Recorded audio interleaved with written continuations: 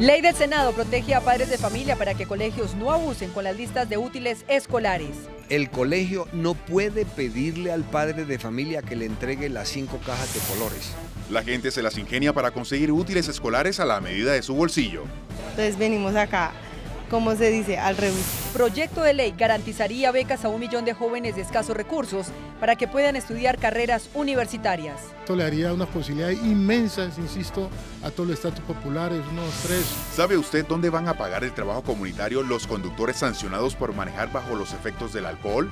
En NS Noticias les contamos. Cuando uno coge un vehículo en estado de embriaguez, es lo mismo que si manipulara un arma. Elecciones 2014, lo que usted debe saber. Espere detalles.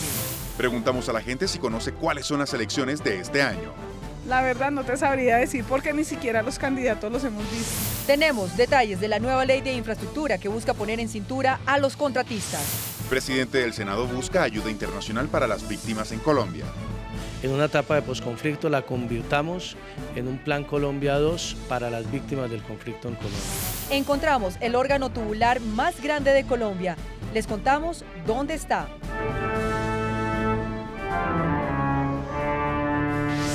Les tenemos lo que trinan los senadores en la red y las respuestas de nuestros televidentes a la pregunta de la semana.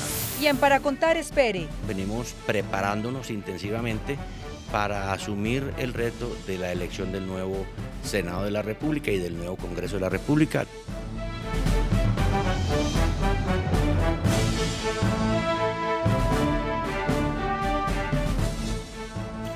Bienvenidos a NS Noticias, el noticiero de los colombianos con Yair Espitia Jiménez y quienes habla Maritza González Cepeda.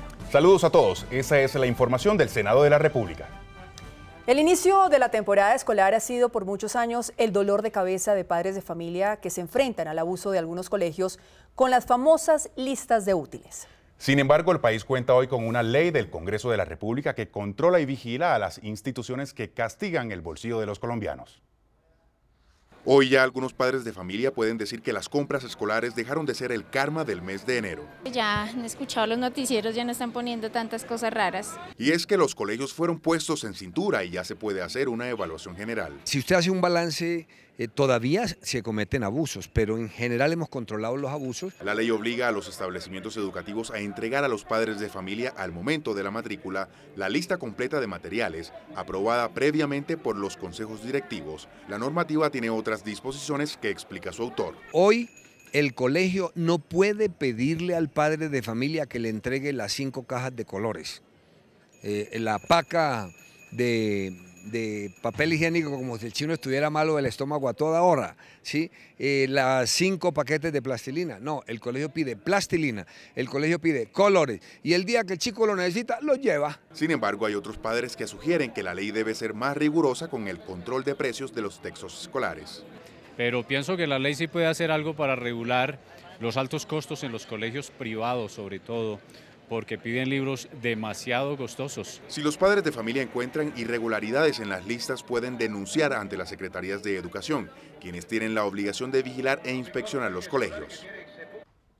La compra de útiles escolares es un importante esfuerzo económico para los padres de familia. Los precios de los materiales son para algunos muy altos, pero ¿qué alternativa tienen los colombianos para no golpear sus bolsillos?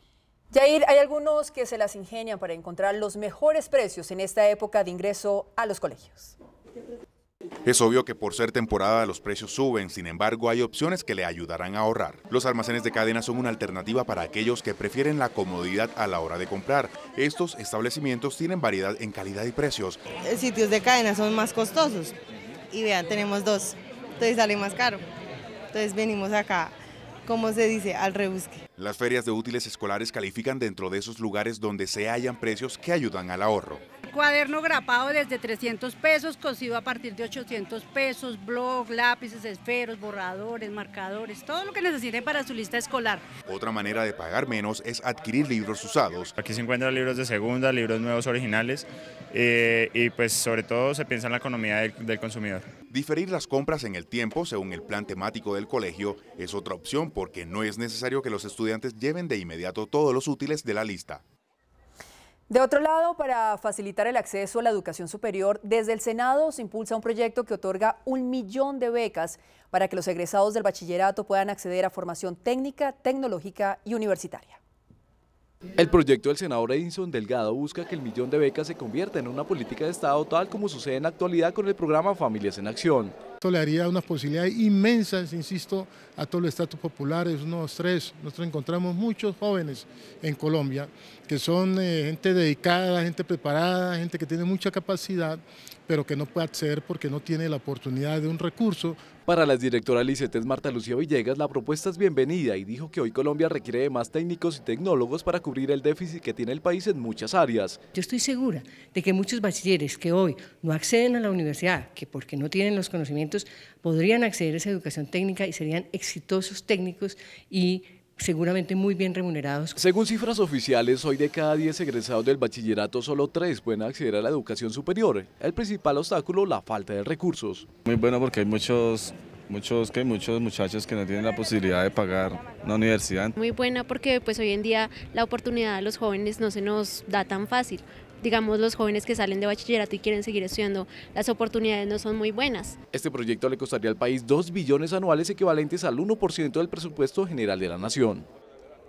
Una disminución del 46% en accidentes de tránsito por conductores ebrios y multas económicas es el balance de la ley aprobada en el Congreso. El trabajo comunitario de los conductores sancionados se realiza, por ejemplo, en fundaciones como Alcohólicos Anónimos. Más detalles con Aura Serna.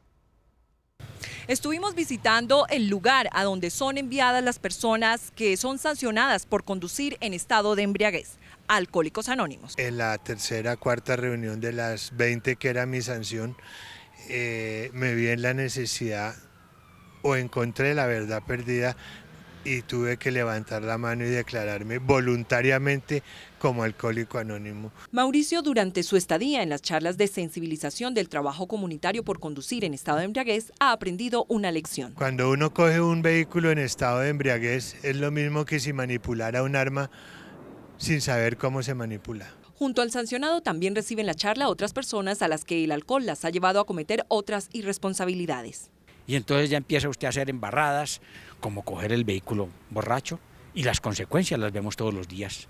Nuestros padres, las autoridades, todos manifestaron que no tomáramos trago, ¿sí? que no consumiéramos licor en exceso, y estamos acá. Por eso el alcoholismo es una enfermedad de autodiagnóstico.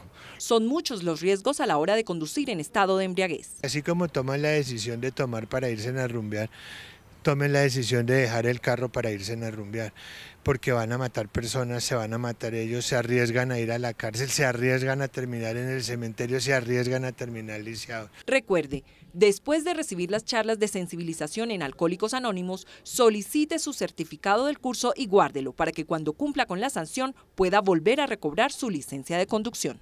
Así que si usted se va a tomar unos traguitos y luego piensa conducir, piénselo dos veces. Entregue las llaves.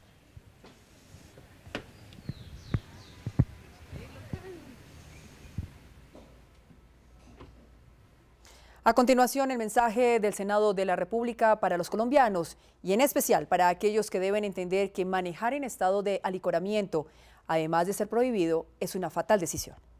Diez años de intentos fallidos, cinco iniciativas fracasadas, un mensaje de urgencia solicitado por el Congreso, una iniciativa calificada como trascendental para el bienestar de los colombianos. Este es un éxito que se lo tienen que atribuir, como es así, el Congreso. Un Congreso unido en un trabajo colectivo y comprometido. En tiempo récord, sanciona una ley trascendental contra conductores ebrios. En tan solo 20 días de puesta en marcha la ley, los resultados son contundentes. El Congreso de Colombia escuchó el clamor del pueblo este año los colombianos asistirán a las urnas para elegir Congreso y Presidente de la República, pero ¿qué tanto sabe la gente de estas jornadas electorales? Mi compañera Marixa González salió a consultar a los bogotanos. En NS Noticias la gente dice.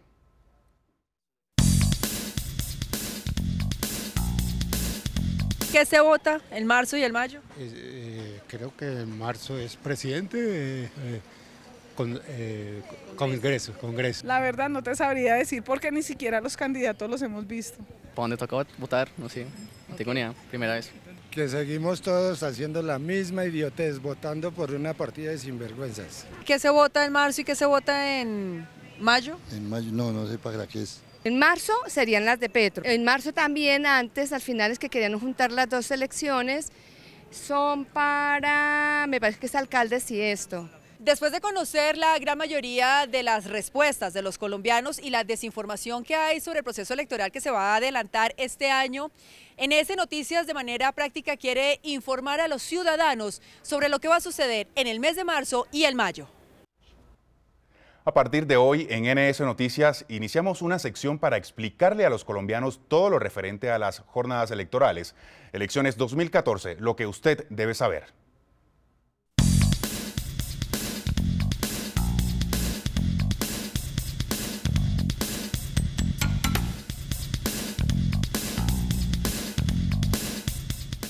Hablamos con el doctor Jaime Hernando Suárez, registrador distrital del Estado Civil, para resolver dudas de los colombianos frente a las elecciones del próximo 9 de marzo. ¿Qué se elige el próximo 9 de marzo? Vamos a tener el día 9 de marzo las elecciones de Congreso de la República. O sea, vamos a elegir los senadores de la República y los representantes a la Cámara.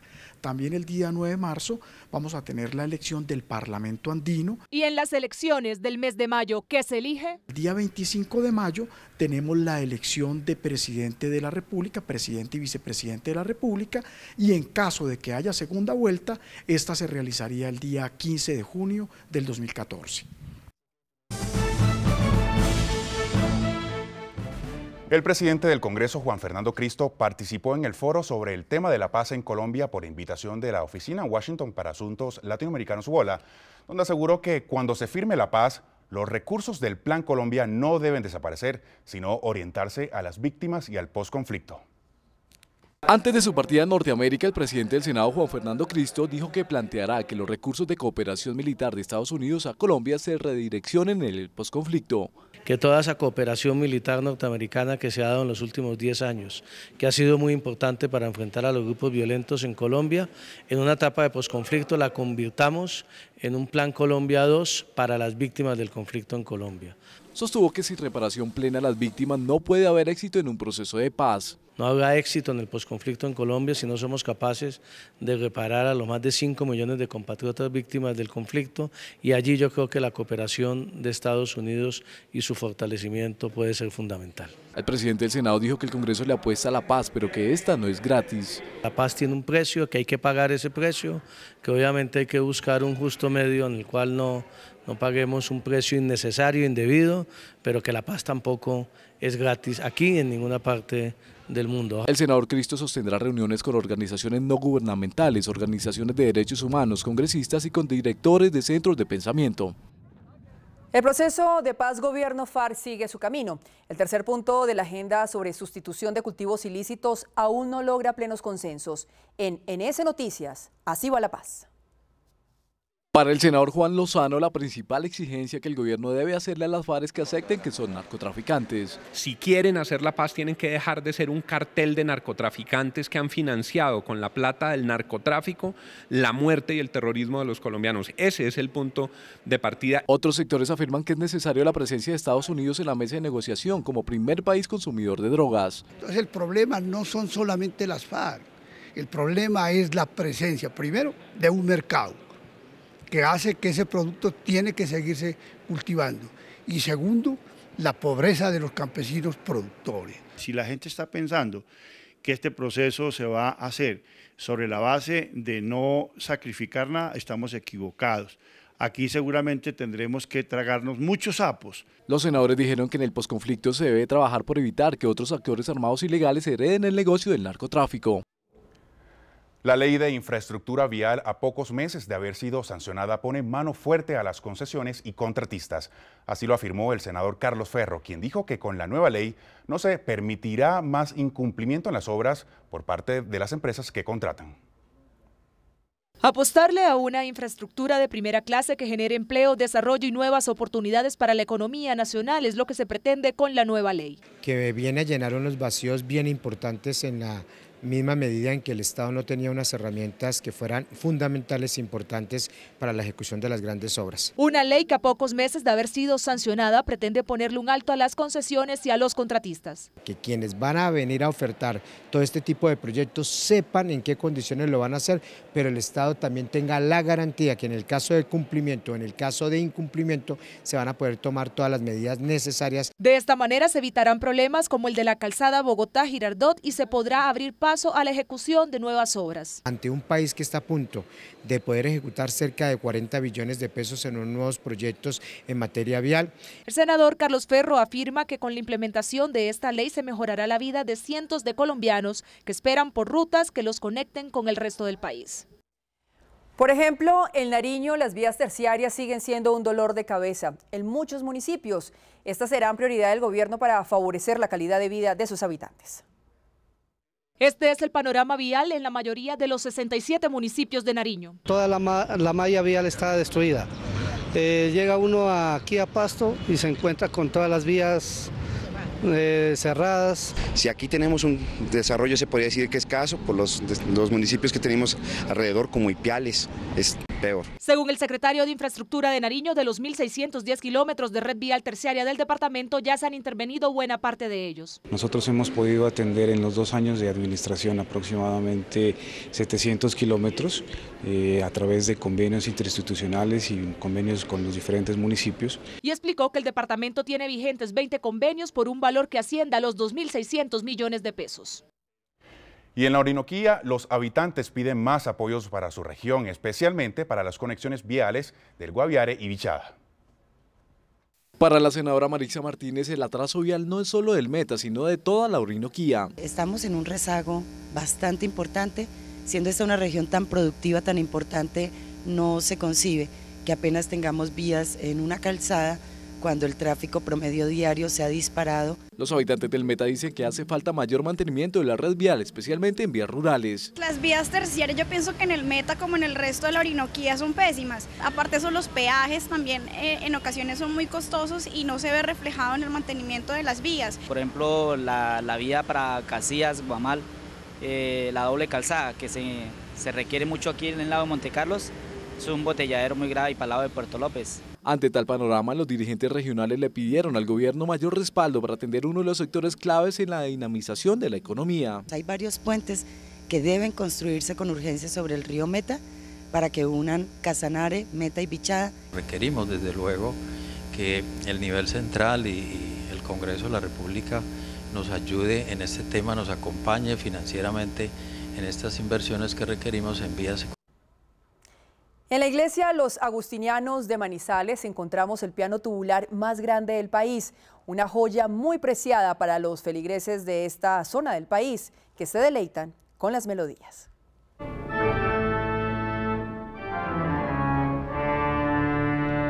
Un órgano tubular que tiene 100 años hoy es catalogado como el más grande y uno de los pocos que existe en el país.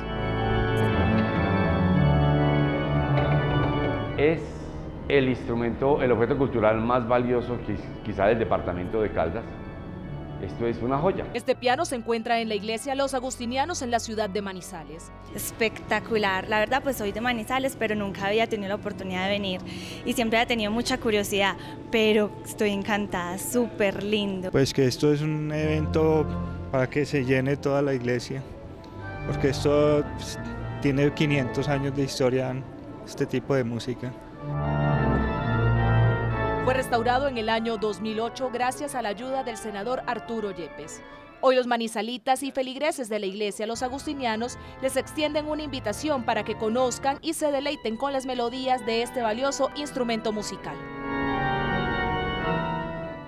Nuevamente, el mensaje del Senado de la República para todos los colombianos y en especial para aquellos que deben entender que manejar en estado de alicoramiento, además de ser prohibido, es una fatal decisión. Diez años de intentos fallidos. Cinco iniciativas fracasadas. Un mensaje de urgencia solicitado por el Congreso. Una iniciativa calificada como trascendental para el bienestar de los colombianos. Este es un éxito que se lo tienen que atribuir, como es así, el Congreso. Un Congreso unido en un trabajo colectivo y comprometido En tiempo récord, sanciona una ley trascendental contra conductores ebrios. En tan solo 20 días de puesta en marcha la ley, los resultados son contundentes. El Congreso de Colombia escuchó el clamor del pueblo. A continuación les tenemos la respuesta de nuestros seguidores a la pregunta de la semana. Las respuestas de nuestros seguidores a la pregunta ¿cuál cree usted que sea la solución para el trámite de las licencias de conducción? fueron las siguientes. Arroba abajo SGSSS. Dejas de favorecer a los amigos dueños de centros de reconocimiento, centros de diagnóstico, entre otros. Arroba Elkin Romero, que se acabe la corrupción y tramitología en ello. Arroba N Traslab. Cambiar las licencias de uso público por privado a los particulares que no manejan de manera profesional. Participe en el sondeo semanal con la pregunta ¿Cómo hace usted para ahorrar en la compra de los útiles escolares? Envíe sus respuestas con el hashtag Yo Soy NS Noticias. Y esto es lo que trinan los senadores en la red. Arroba Cristo Bustos. Un proceso de paz permitiría que las FARC entreguen las armas, se desmovilicen, se reincorporen y tengan derecho a participar en política arroba senador Edinson. Impajaritable acciones contra guerrilla por ataques, pero debemos seguir creyendo en el concepto de paz como proceso y realidad en el país. Arroba senador Lacerna. Grabar la minería ayudaría a protegernos de la enfermedad holandesa, que nos está destruyendo el agro y la industria, o sea, los transables. Vamos ahora a los temas para contar con nuestra directora, Azucena Lievano. Desde ya el Senado se prepara para recibir a los nuevos legisladores que se conocerán una vez se lleven a cabo las elecciones del próximo mes de marzo. Así será la estrategia. Para que su actividad sea más llevadera, conozcan de primera mano el funcionamiento del Congreso, los sitios físicos, las actividades que se realizan y de esa manera puedan hacer más eficiente su labor. El secretario general también aprovechó para invitar a los colombianos a visitar la página web de la Secretaría queremos seguir avanzando para que la opinión pública y la ciudadanía en general tengan la información que deben tener en el tiempo más rápido posible. El director del canal Congreso nos contó los nuevos programas que verán los colombianos a través de este canal. Por supuesto, habrá muchos programas con contenido, formato y sobre todo talento. También vamos a tener eh, una franja para los partidos políticos. De lunes a viernes a las 8 de la mañana los partidos podrán contar a los colombianos qué están haciendo sus sus representantes y sus senadores en el Congreso. Eh, por supuesto que el noticiero del Senado sigue mandando la parada en la información en el canal del Congreso y el canal recibe también una fuerte inyección tecnológica y de equipo humano para poder transmitir una mejor señal y una mejor programación. Y para terminar, le consultamos a los colombianos sobre las nuevas tecnologías a la hora de volver a clases. De pronto los mismos niños tienen opción de estudiar de otra forma o de eh, adquirir conocimientos de otra manera. Tiene algo en, en contra, porque a los niños les quita tiempo, porque como es tanta la tecnología, los niños, o sea, no aprenden lo que deben aprender. Porque eso también ayudaría al medio ambiente a que no sigan tumbando los árboles. Entonces no habría necesidad de hacer libros, sino ya tendríamos información electrónica más fácil de adquirir. Soy Azucena Liévano, la próxima semana más temas para contar. Bien, cuando usted se informa sobre la gestión legislativa, no solo fortalece la democracia, sino que estimula la transparencia. Conozca minuto a minuto lo que pasa en el Senado en las diferentes redes sociales, Facebook, Senado GovCo y en la cuenta de Twitter, arroba Senado GovCo. Muy bien, a todos muchas gracias por compartir esta emisión con nosotros. Somos NS Noticias, el noticiero de los colombianos. Hasta pronto.